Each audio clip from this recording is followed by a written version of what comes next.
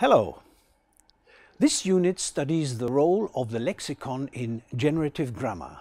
It shows how lexical aspects help to solve various problems with ungrammatical or strange sentences.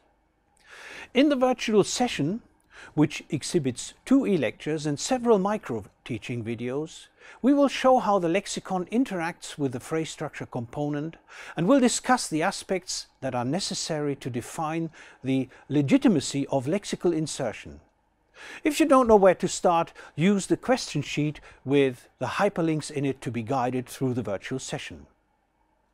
The mastery worksheet is an identification task where you have to insert the appropriate verbs into local syntactic trees.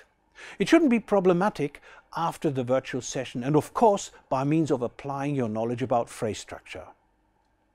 The practical, another one typical for syntax, provides you with data, with words and sentences that need to be specified in detail before they can undergo lexical insertion.